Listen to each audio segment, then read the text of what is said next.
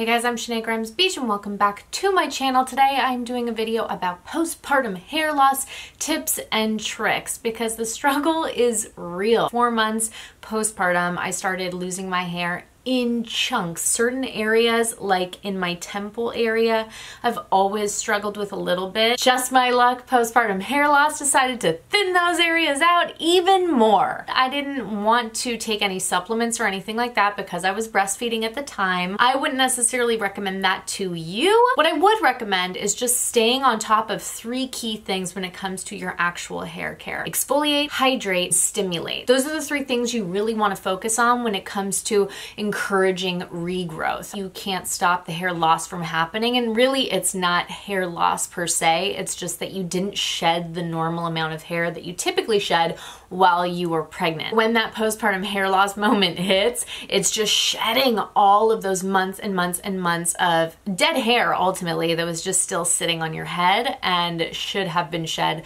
over that duration of time. Does that make any sense? The best way that I have found to exfoliate my scalp is actually just using a totally DIY scrub made up of household items that I found in my kitchen and pantry. I'll include the recipe for this DIY scrub down below, but it's items that you probably already have or will only cost you a couple bucks at the grocery store. We get so much buildup on our scalp from natural oils, products that we use in our hair all the time, and just things in the atmosphere and environment. We want an open path for all of that regrowth to start happening. Use this scrub once every week to two weeks and really all you do is just scoop it onto your scalp as close to the root as you can. Really get in there all over the place and just rub for one to two minutes. I like to leave it on for an extra one to two minutes and just let all of the ingredients really do their thing and then I just rinse it out in the shower with shampoo and conditioner. Then you want to hydrate not just your hair but you want to hydrate your scalp as well. We really want to nourish that skin so that it is just healthy and in a good place so we get all of that regrowth happening. So to hydrate, my favorite thing to use is actually just straight up coconut oil. This is just from Whole Foods. All I do is I take chunks of this in my hand and I either warm it up between my palms or you can microwave it for a couple seconds if you want to melt it down.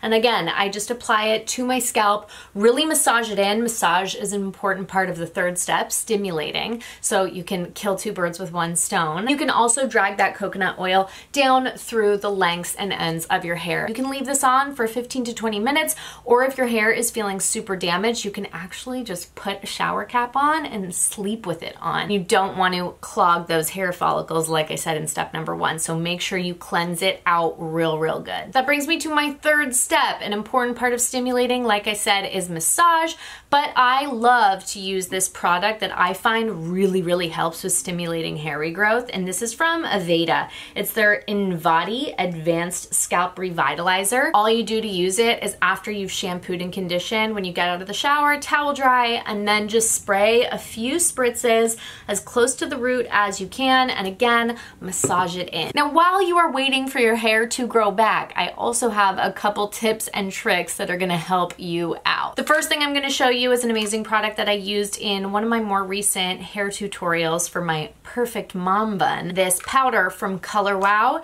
and it really is just an amazing, super easy to use product that fills in any bald patches you have. So I'm gonna show you really quick how easy this is to do.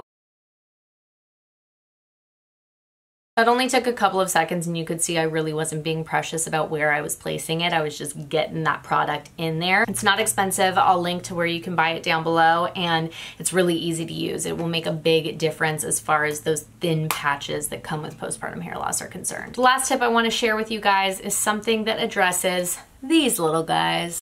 My baby hairs have been the bane of my existence pretty much my whole life, but they have gotten so much harder to handle since this whole postpartum hair loss thing happened because they're growing. They are just getting too long to kind of blend into my hairline and not long enough to blend in with the rest of my hair. All I do to deal with those is steal my husband's hair pomade. But if you don't have anybody in your house that you can steal off of, then just make a little bit of a splurge and get your own hair pomade. I just took a teeny tiny little bit out of there and I'm gonna rub it on the back of my hand to kind of soften the product a little bit because again, I don't even need that much. I really need a very small amount.